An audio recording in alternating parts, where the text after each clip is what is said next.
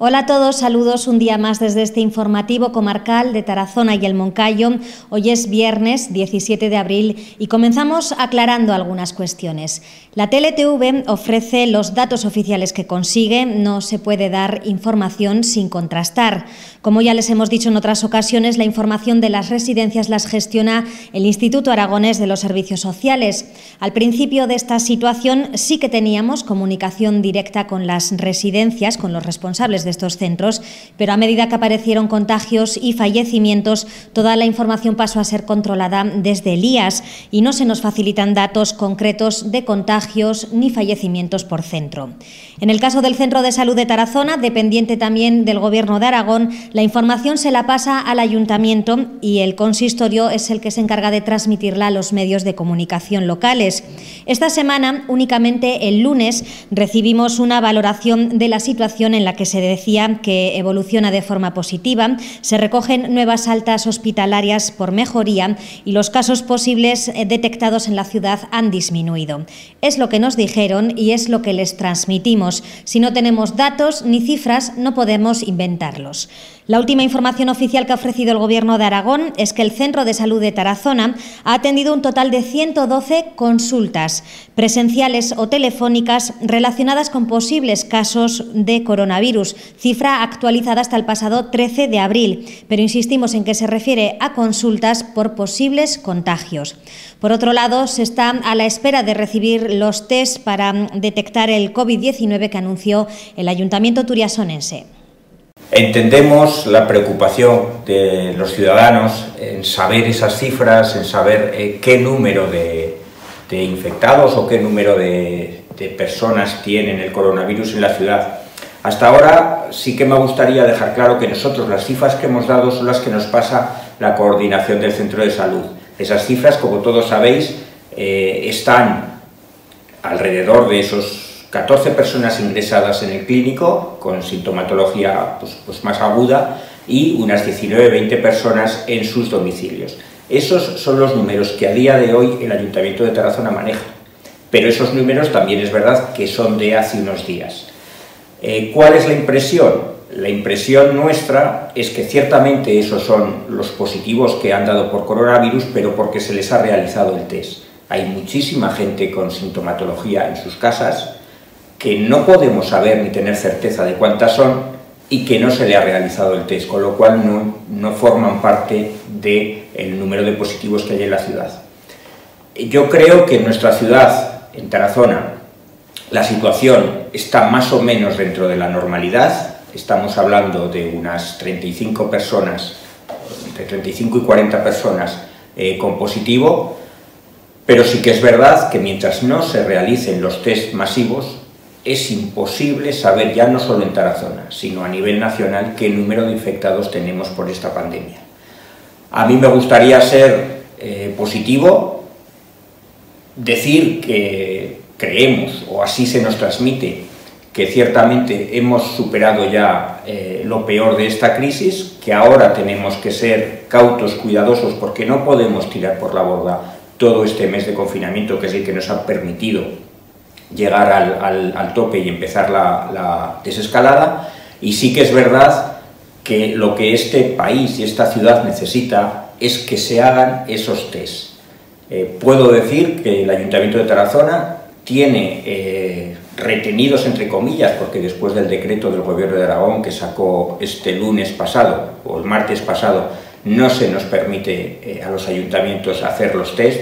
Sí que es cierto que el Ayuntamiento de Tarazona adquirió la semana pasada una partida de test, eh, los llamados test rápidos, que lo que hacen es detectar los anticuerpos. También soy consciente que esos test nos servirían como, como sirven los PCR para saber dentro de ese margen de error el, que está eh, con la enfermedad o no lo está, pero sí que es verdad que esos test nos permitirían para todos los trabajadores municipales que actualmente están en servicios esenciales, como pueden ser policía municipal, guardería rural, ayudantes a domicilio, ayuda a domicilio, limpiadoras. Eh, lo que nos permitiría saber es qué carga viral tenemos dentro del ayuntamiento para poder actuar de una forma u otra. También sería posible que pudiésemos adquirir test, por ejemplo, la residencia Palmerola no tiene hechos los test a sus trabajadores. Estamos peleando eh, día tras día para conseguirlo. Pero sí que me gustaría desde aquí eh, bueno, pues lanzar ese mensaje de optimismo, porque ya estamos descendente, de que no hay que bajar la guardia porque podemos tirar por la borda todo el trabajo que hemos hecho y de que seguiremos trabajando, sea vía los test o sea vía peleando con el resto de administraciones para que lo consigamos y saber de una vez cuáles son las cifras que en Tarazona nos movemos, pero reiterar que no es una cuestión de que no queramos dar las cifras, sino que simplemente nosotros no somos los competentes en ellos y nosotros transmitimos las veces que lo hemos hecho lo que desde la coordinación del centro de salud se nos dice. Y ya por último, como no podría ser de otra forma, dar las gracias a infinidad de gente, infinidad de gente que, está trabajando desinteresadamente, pues, pues haciendo cualquier tipo de elemento de barrera, de mascarillas, de batas, de cualquier cuestión que pudiese, que, además les viene fenomenal a las residencias. Estamos en un momento que es muy difícil adquirir, adquirir material de, de prevención y anticontagios.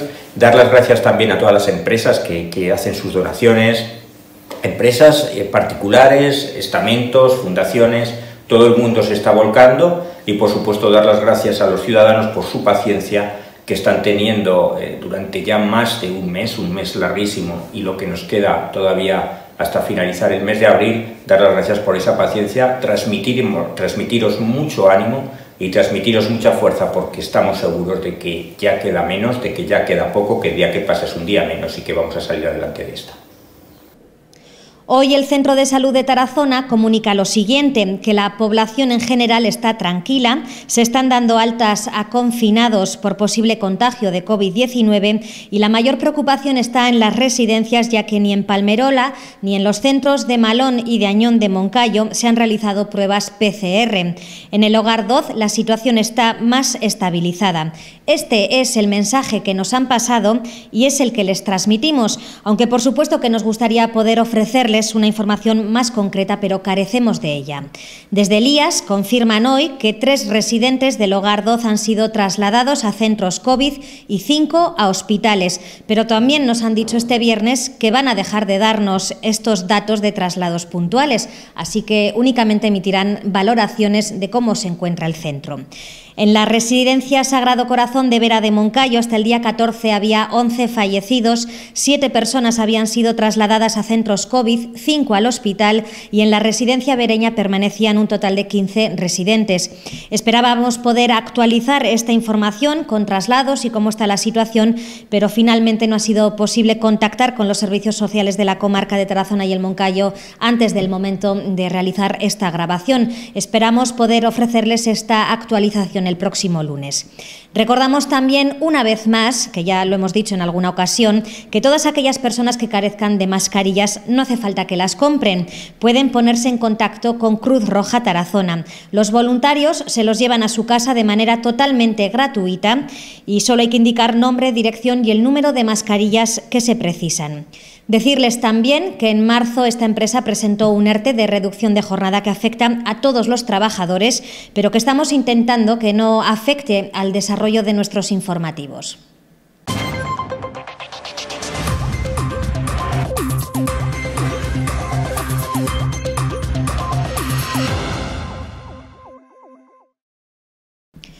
El Ayuntamiento de Tarazona anunció ayer jueves que los portavoces de los grupos municipales del consistorio acordaron por unanimidad la declaración del luto oficial en Tarazona desde este jueves, día 16, y hasta que finalice el estado actual de alerta sanitaria.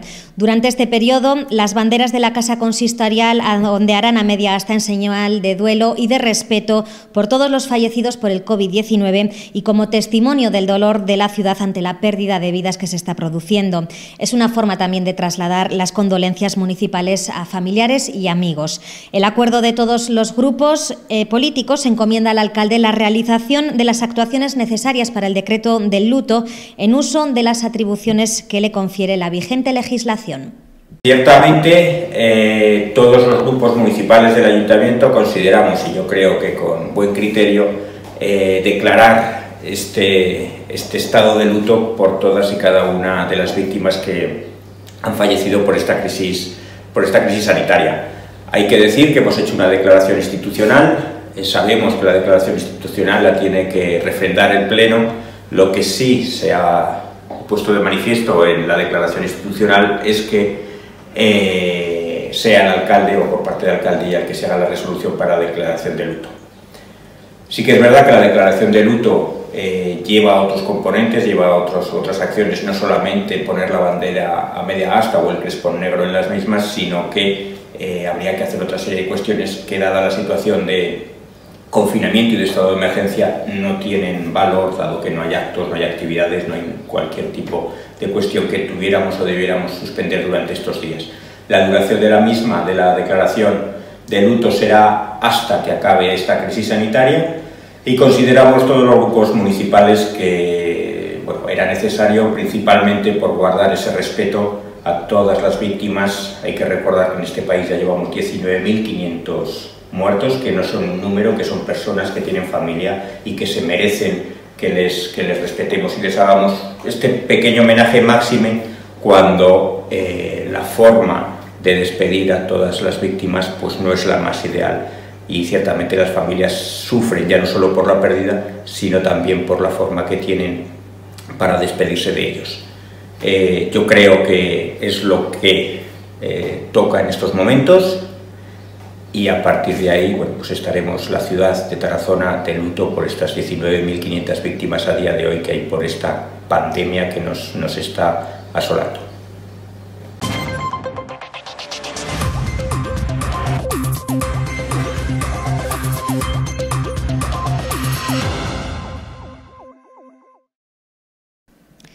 Les contamos también que el cementerio municipal permanece cerrado, pero el crematorio municipal de Tarazona, que abrió sus puertas en el año 2010 y cuya explotación por 50 años corresponde a la empresa Pompas Fúnebres Aragón, está realizando gran cantidad de cremaciones estos días. Desde hace tres semanas, hacia finales de marzo, se están realizando seis incineraciones diarias de una empresa con la que colabora de manera habitual la empresa turiasonense. También se siguen atendiendo los casos de Tarazona y su comarca, así como localidades de los alrededores alrededores como pueden ser Alfaro o Ágreda. Según información facilitada por Pompas Fúnebres Aragón, estas últimas semanas se están realizando entre 11 y 12 incineraciones diarias en la ciudad.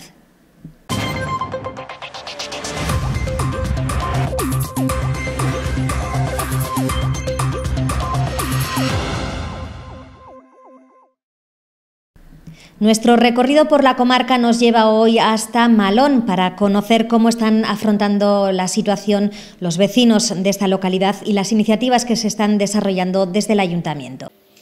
Hola, buenos días desde Malón. La situación en Malón a día de hoy es buena, ya que no tenemos casos de coronavirus ni en el pueblo ni dentro de la residencia. Desde el ayuntamiento hemos tomado las medidas pertinentes para que esta situación siga así eh, sobre todo hacemos la fumigación del pueblo un par de veces en semana y prestamos atención a las personas mayores que lo necesitan. hemos, también hemos dotado de material al consultorio médico de la residencia, que este tiempo atrás estaba más escaso y conforme lo iban necesitando, y eso pues les íbamos ayudando en lo que podíamos. Después hemos, eh, desde el principio del coronavirus, también establecimos un servicio de compra porque en Malón tenemos farmacia, tenemos panadería, viene carnicero, viene frutero, pero no tenemos el servicio de, tienda. Entonces pusimos a disposición de los de Malón el teléfono del ayuntamiento para el que lo requiera, nos piden la compra y vamos y se lo hacemos. también, en colaboración con Cruz Roja, hemos repartido mascarillas para todos los vecinos. Desde el pueblo han surgido también varias iniciativas de colaboración, tanto con Cruz Roja como con otras entidades. Hay gente que está confeccionando batas, otras gorros, otras han aportado material para hacer mascarillas, también hay gente que ha cosido mascarillas, entonces desde aquí damos las gracias a todos por su colaboración. También ahora ya damos las gracias a todos nuestros vecinos por cumplir también el confinamiento, pero sobre todo a nuestros niños y niñas del pueblo que se están portando como campeones. Y ahora ya que llevamos un mes, un poco más de un mes, aislados, desde este ayuntamiento, queremos mandar ánimo, fuerza y un saludo para toda la comarca.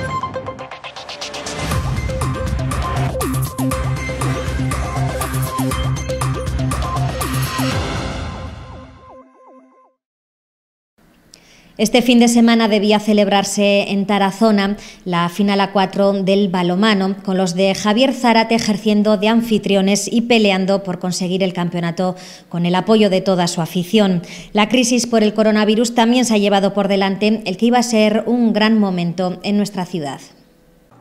Bueno, pues así es, Nora. Hoy era un día muy especial para el deporte turiasonense y en concreto para el balonmano. Nada más y nada menos, este fin de semana se celebraba la final a cuatro tan esperada en nuestra ciudad. Y para hablar de todo ello tenemos a su presidente, a Carlos Baños, al que le doy la bienvenida a través de la pantalla a la TLTV. Eh, Carlos, ¿cómo estás? Buenos días. Hola, buenos días, ¿qué tal? Pues eh, alegre de que podamos hablar y triste de que no pueda ser en persona y en otra situación.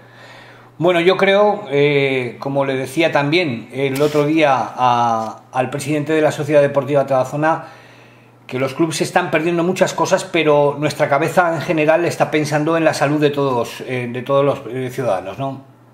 Evidentemente, lo primero es lo primero. Estamos viviendo una situación muy complicada, muy especial. Posiblemente la mayor, el mayor problema al que nos vamos a enfrentar en nuestras vidas, por lo menos a día de hoy seguro. Y, y sí es verdad que lo nuestro, nuestra pasión, queda un poquito en segundo plano, más allá de que en determinados momentos nos acordemos bastante de ello. Bueno, ¿cómo, cómo está el, presidente? Me imagino que no hay actividad, pero sí hay, me imagino que un trabajo desde oficina para ver qué es lo que ocurre. Eh, el lunes vamos a intentar hablar con el director deportivo de la Sociedad Deportiva Tarazona. En este caso ya tenemos a ti, te tenemos a ti aquí ya en, en, en pantalla. Queremos, Carlos, que nos cuentes, bueno, eh, qué es lo que se está haciendo, si hay novedades, porque realmente, como decimos, hoy era el día esperado.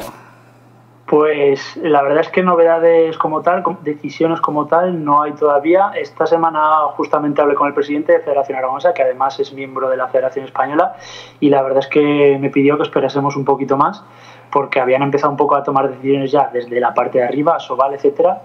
Parece claro la decisión está tomada de que va a haber ascensos y descensos y eso al final nos va a repercutir en cascada a las distintas, a las distintas categorías. ¿Por qué hay que esperar un poquito más? Porque la decisión en, principio de Federación Española era en junio terminar competiciones de la manera que se pudiera. Todavía no, no era claro el, modo, pero estamos viendo que tal y como se están desarrollando las, las circunstancias, es posible que en junio tampoco, tampoco se pueda realizar eso. Entonces, por eso te digo que hay que esperar un poco. La intención era clara de la Federación Española, que haya ascensos y descensos. Visto las fechas, quizás no haya descensos, sea lo más probable, y habrá que ver eh, cómo, se, cómo se acaban las temporadas y quién asciende en cada categoría. Mm, la verdad es que está muy abierto, puede pasar cualquier cosa y estamos en contacto para que, para que nos informen y, y incluso llegar de situación a ver si podemos dar nuestro punto de vista. Eh, y mientras todo eso sucede, pues yo me imagino que habrá comunicación, como la estamos teniendo tú y yo, a, eh, través de, de, la red, a través de, forma telemática. Eh, me imagino que con jugadores, con Javier, ¿cómo es la comunicación ahora mismo entre directiva y equipo técnico y jugadores? Pues al final, como, como quieras que no somos una familia, más allá del, del balonmano, hablamos mucho de balonmano, pero también hablamos de nuestra vida personal, estamos en contacto porque nos interesamos todos por todos, eh, la vida familiar, por suerte, por suerte no, no tenemos problemas todavía de enfermedad que tengamos que lamentar. Y en cuanto a balonmano, sí, estoy muy en contacto con Javier, con el entrenador, también estoy en contacto con los jugadores. Y los jugadores sobre todo con el preparador físico, con Miguel Matute, que quieras que no, como no sabemos en qué va a acabar esto, hay que estar lo mejor preparados posibles y en la medida de lo posible en sus casas, pues sigue preparándose porque nadie pierde la esperanza de que un día te digan, oye, que el mes que viene hay que jugar. Ojalá se pueda y si no, si es para más adelante, pues mejor preparados estaremos. Llegábamos a este confinamiento con, un estado de forma magnífico de, lo que es la plantilla eh, hablabas de, vamos, nombrabas y citabas a, su preparador físico y, cuéntanos un poquito cómo es la sesión, eh, aunque seas tú eh, el presidente, ¿no? cuéntanos, es tú la voz del, club, cuéntanos cómo, en, qué consiste la preparación de cada jugador, que me imagino que será un traje a medida, ¿no?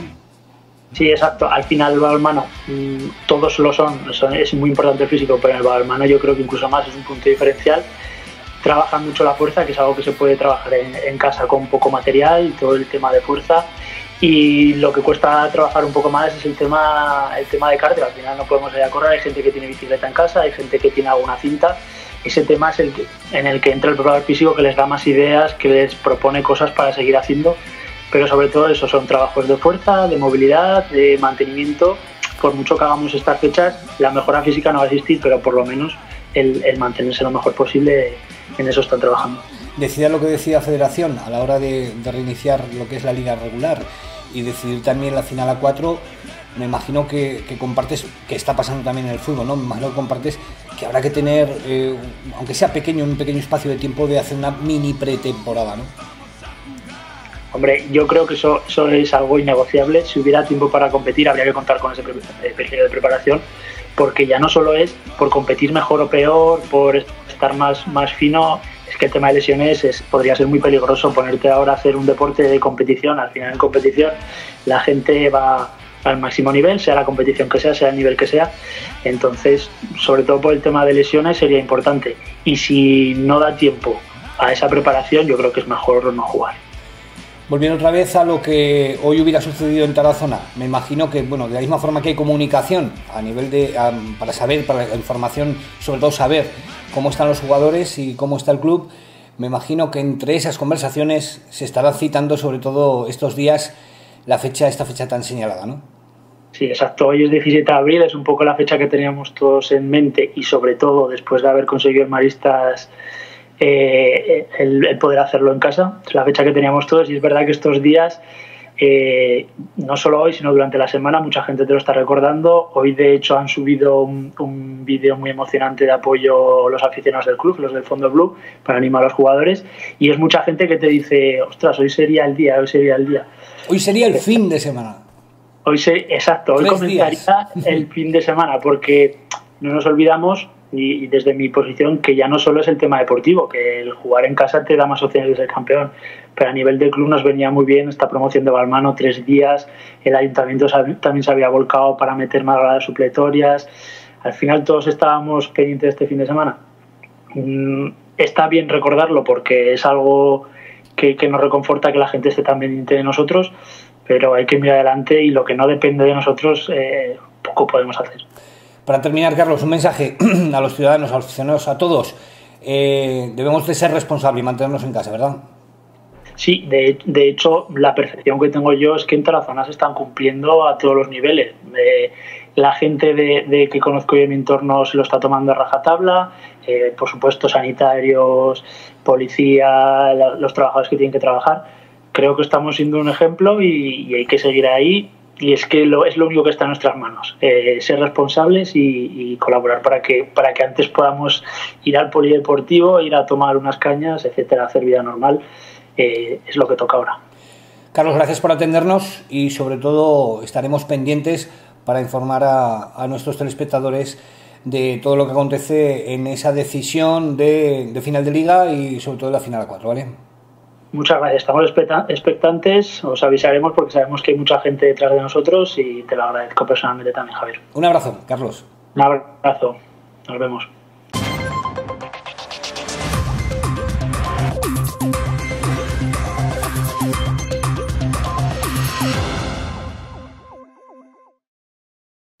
Terminamos con una bonita propuesta que igual les puede interesar. La vida sigue en estas semanas de confinamiento y son muchos los cumpleaños que se han tenido que celebrar de una manera totalmente diferente a años anteriores. Desde el Ayuntamiento de Tarazona ofrecen la posibilidad de realizar una felicitación especial a través de la revista municipal. Para hacerlo solo hay que enviar un correo electrónico a la siguiente dirección comunicación indicando el nombre de pila de la persona a la que se quiere felicitar y el día de su cumpleaños, también el nombre o los nombres de las personas que la felicitan y el mensaje de felicitación con una extensión máxima de 150 caracteres, lo que viene a equivaler más o menos a unas 30 palabras. También es posible incluir una foto. El plazo para enviar los correos y que puedan salir publicados finaliza el próximo 22 de abril. Nada más es todo por hoy. Buen fin de semana para todos. Volvemos el lunes con la información y la actualidad que podamos ofrecerles. Cuídense mucho y gracias por su compañía.